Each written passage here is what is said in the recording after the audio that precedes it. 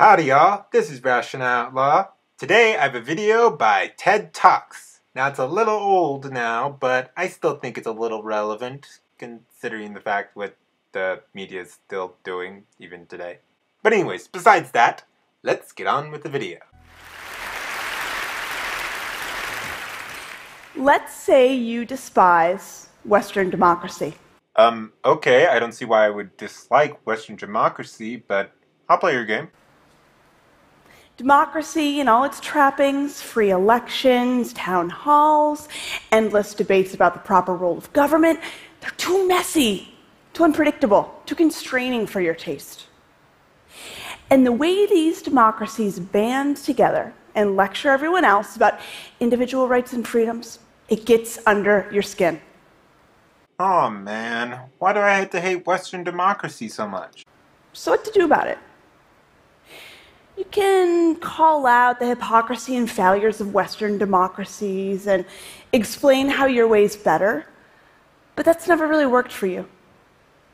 What if you could get the people whose support is the very foundation of these democracies to start questioning the system? Oh, oh, me, me, me, me. I know an answer. How about the left news media perpetuating the Russian hack thing when there's no evidence to support it?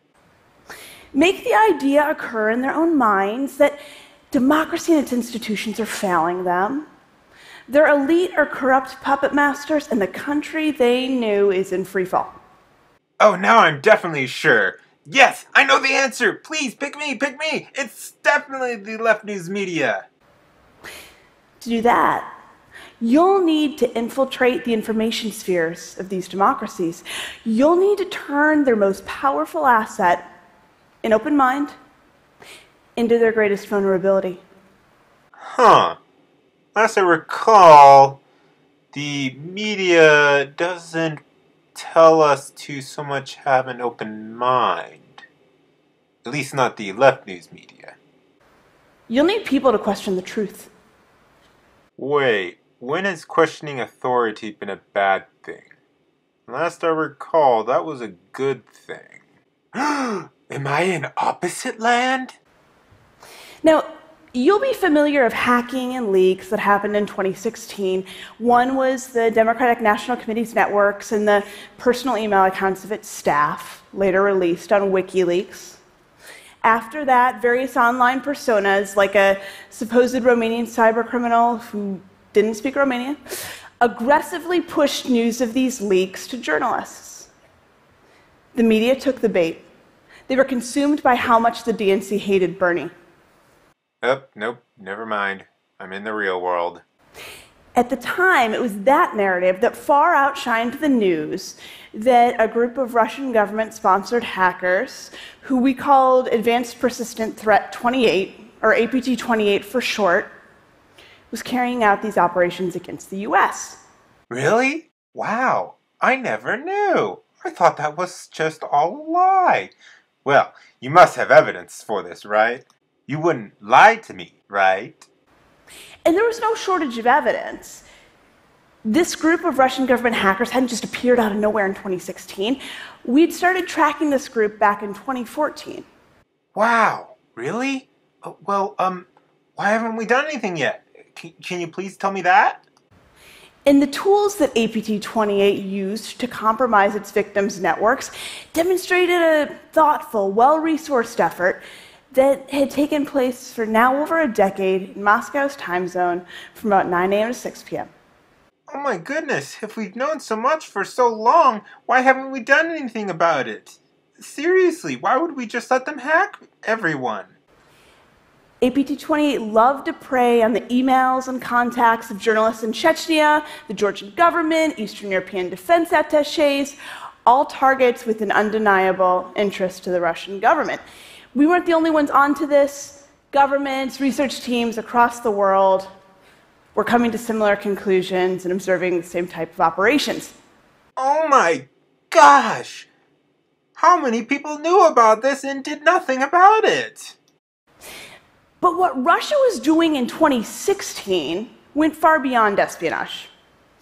The DNC hack was just one of many where stolen data was posted online, accompanied by a sensational narrative, then amplified in social media for lightning speed adoption by the media. What? This didn't ring the alarm bells that a nation state was trying to interfere with the credibility of another's internal affairs. So, why collectively did we not see this coming? Oh, me, me, me, me. I know how to answer this. It's because everything you've said about Russia hacking people up till now has been all pretty much uh, bullshit. That includes your outrageous claim that the Russians hacked the DNC emails. Bit. Why did it take months before Americans understood that they were under a state sponsored information attack? The easy answer is politics. The Obama administration was caught in the perfect catch 22. By raising the specter that the Russian government was interfering in the US presidential campaign, the administration risked appearing to meddle in the campaign itself. But the better answer, I think, is that the US and the West were utterly unequipped to recognize and respond to a modern information operation. Okay, which is it? Do we have fantastic anti hacking, whatever majiggy skills, or do we have absolute skills with tracking hackers? And quite frankly, I think I have a better answer. Everything about the Russian hack is utter bullshit. Despite the fact that the US had wielded information with devastating success in an era not so long ago. Okay, yet again, which is it? Do we have fantastic hacking tracking skills, or do we have crap shit hacking tracking skills? Look, so while the US and the West spent the last 20 years caught up in cybersecurity, what networks to harden, which infrastructure to deem critical, how to set up armies of cyber warriors and cyber commands, Russia was thinking in far more consequential terms. Before the first iPhone even hit the shelf, the Russian government understood the risk and the opportunity the technology provided and the intercommunication and instant uh, communication that it provided us. As our realities are increasingly based on the information that we're consuming at the palm of our hand, and from the news feeds that we're scanning and the hashtags and stories that we see trending, the Russian government was the first to recognize how this evolution had turned your mind into the most exploitable device on the planet. Citation, please, because I call 100% bull crap. And your mind is particularly exploitable if you're accustomed to an unfettered flow of information, now increasingly curated to your own tastes. So, sort of like how media has been for decades now. This panorama of information that's so interesting to you gives a state, or anyone for that matter, a perfect backdoor into your mind. It's this new brand of state sponsored information operations that can be that much more successful, more insidious, and harder for the target audience, that includes the media, to decipher and characterize. Um, what? No, seriously, what? What did, did you just say? Because I, I didn't understand a word of what you just said. If you can get a hashtag trending on Twitter or chum the waters with fake news directed to audiences primed to receive it, or drive journalists to dissect terabytes of email for a scent of impropriety, all tactics used in Russian operations. Oh, now I see what you're talking about. You're talking about the normal things that every news media and every other person does with social media. And I didn't know you were an expert in Russian operation tactics then you've got a shot at effectively camouflaging your operations in the mind of your target. This is what Russia's long called reflexive control. It's the ability to use information on someone else so that they make a decision on their own accord that's favorable to you. Bullshit, bullshit, bullshit, bullshit, bullshit. And, oh, let's have one more bullshit. Oh, I guess I already said it. So while hacked phone calls and emails and networks keep grabbing the headlines, The real operations are the ones that are influencing the decisions that you make and the opinions that you hold, all in the service of a nation state strategic interest. Yeah, no, bitch. I make my own decisions and I come to form my own opinions. I might look for stuff for to get information, but I make up my own mind. Russia doesn't make up my mind for me. This is power in the information age. And this information is all that much more seductive, all that much easier to take at face value and pass on when it's authentic. So now are you saying that we shouldn't look at information that could be very useful for the public to know about the DNC? Because it sounds like you're making an excuse for the atrocious things that the DNC has done. Who's not interested in the truth that's presented in phone calls and emails that were never intended for public consumption? But how meaningful is that truth if you don't know why it's being revealed to you?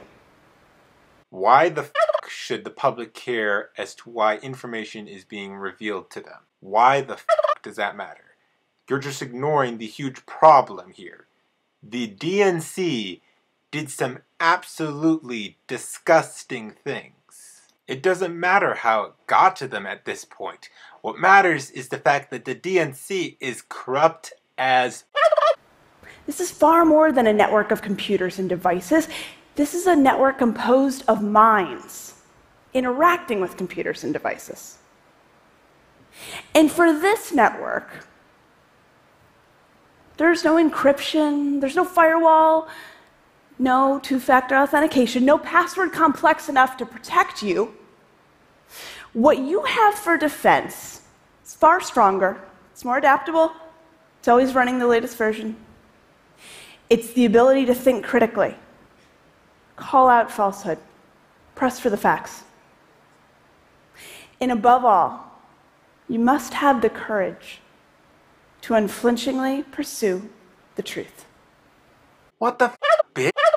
Now you're saying people should listen to the truth and be skeptical and search for the truth? What the f? Because earlier you were just saying that we shouldn't question what the media says. Now you're saying we should question? Now, I'm thinking what you truly mean to say is be skeptical of everything that is not mainstream media. Or perhaps to clarify even further as to what I think you mean, be skeptical of everything that is not left news mainstream media. Examples would include the New York Times, CNN, ABC, MSNBC, and so much more. Well, that's it for today. If you guys like this video, please give it a like and subscribe. Also follow me on all my social media. And if you like me even more, support me on Patreon and VidMe. I will also have the original video down below. And I'll see y'all later.